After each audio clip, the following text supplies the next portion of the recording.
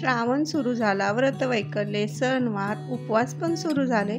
श्रावणात बरेच उपवास असतात आणि त्यात इतर उपवासांच्या पदार्थाव्यतिरिक्त जास्तीत जास्त आणि सगळ्यांना हवी हवीशी अशी साबुदाणा खिचडी तर हमखास बनतेच बनते. तर आज आपण अशीच एक साबुदाणा खिचडी बनवतोय झटपट तयार होते. मऊ लुसलुशीत खूप कमी वेळामध्ये आणि आपण फक्त ही वाफेवर बनवणार आहोत. थोडीशी पद्धत वेगळी आहे. चव पण इतकी जबरदस्त आहे की हा व्हिडिओ जर तुम्ही पाहत असाल तर तुम्ही अशा पद्धतीने एकदा नक्की साबुदाणा खिचडी करून बघा आणि मला नक्की कमेंट करून सांगा. आणि जर तुम्हाला माझा हा व्हिडिओ आवडला माझ्या चॅनेलला नक्की सबस्क्राईब करा.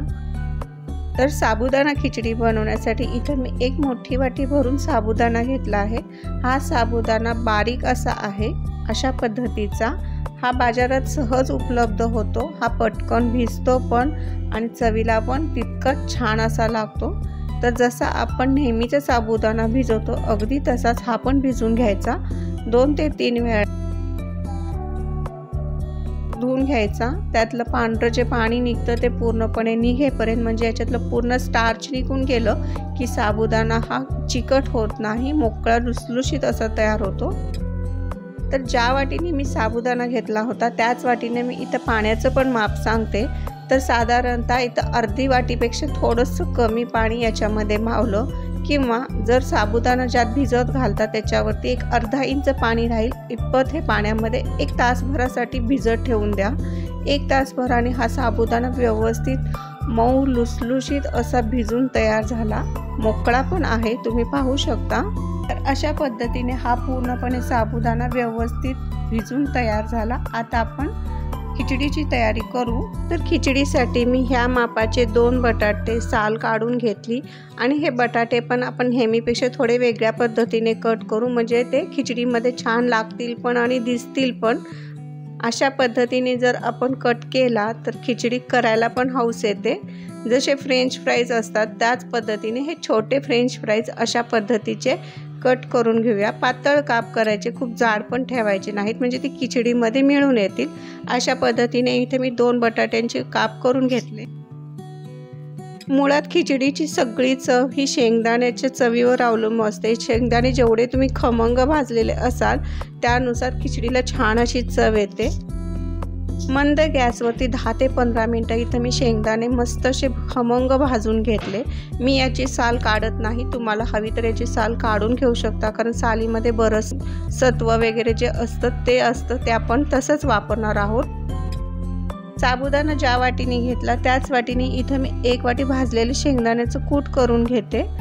कूट एकदम पिठासारखं पण करायचं नाही किंवा खूप मोठं मोठं पण ठेवायचं नाही. असं सरभरीत शेंगदाण्याचं कूट करून घ्यायचं. त्यामुळे खिचडी एकदम मिळून सोयीची होते. तर सुरुवातीला मी गॅसवरती कढई ठेवली. कढई मिडियम आचेवरती गरम केली. त्या दोन चमचे तूप घालून घेतलं. तूप नसेल तर तेलसुद्धा वापरू शकता. परंतु साजूक तुपाने चव छान येते खिचडीला. असेल तर आवर्जून तूप वापरा. त्याच्यामध्ये दोन हिरव्या मिरच्या मी तुकडे करून घातले. हिरव्या मिरच्या पण पूर्णपणे ऑप्शनल आहेत. परंतु त्याचा फ्लेवर छान येतो. त्यानंतर आपण बटाट्याचे काप घालून घेऊया. आणि हे बटाट्याचे काप फक्त मऊ होईपर्यंत याच्यामध्ये परतून घ्यायचे आहेत खूप काही असं तळण्यासाठी आपण ह्याच्यामध्ये वापरायचं नाही आहे तेल तूप.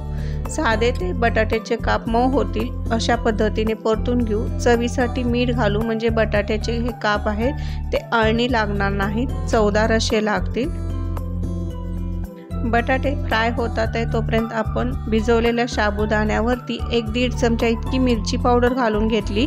मिरची पावडर तुम्हाला जेवढं तिखट हवं असेल त्यानुसार तुम्ही घालून घ्या. चवीनुसार इथं मीठ घालून घेऊयात.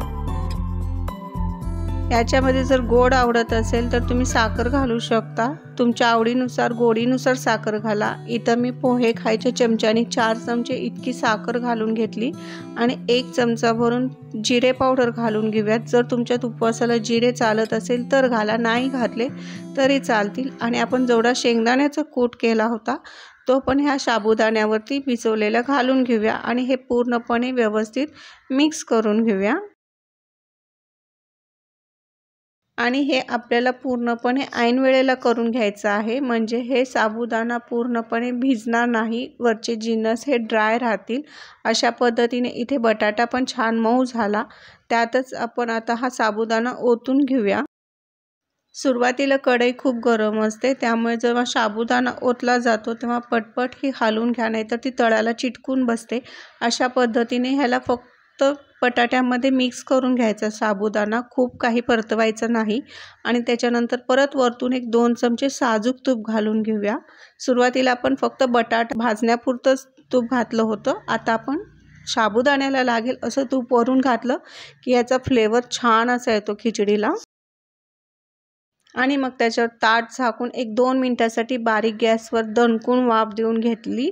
मस्त असा मऊ असा झाला साबुदाणा एकदा परत हलवून घेऊया. आणि हलवून झाल्यानंतर परत एक दोन मिनटासाठी बारीक गॅसवरती झाकून ठेवायचं. किंवा तुम्ही इथे गॅस बंद पण करून ठेवू शकता. कढई जे गरम असते त्या वर सुद्धा हा साबुदाणा व्यवस्थित तयार होतो. इथे साबुदाणा आपला तयार झाला आहे. आवडत असेल किंवा उपवासाला चालत असेल तुमच्याकडे तर तुम्ही इथे कोथिंबीर पण घालून घेऊ शकता. खायला एकदम जबरदस्त लागते. चवीला तर अतिशय वेगळी लागते. खूप छान लागते. एकदा अशी साबुदाणा खिचडी नक्की करून बघा. आणि जर तुम्हाला माझी ही रेसिपी आवडली तर प्लीज चॅनेलला सबस्क्राईब करा. धन्यवाद.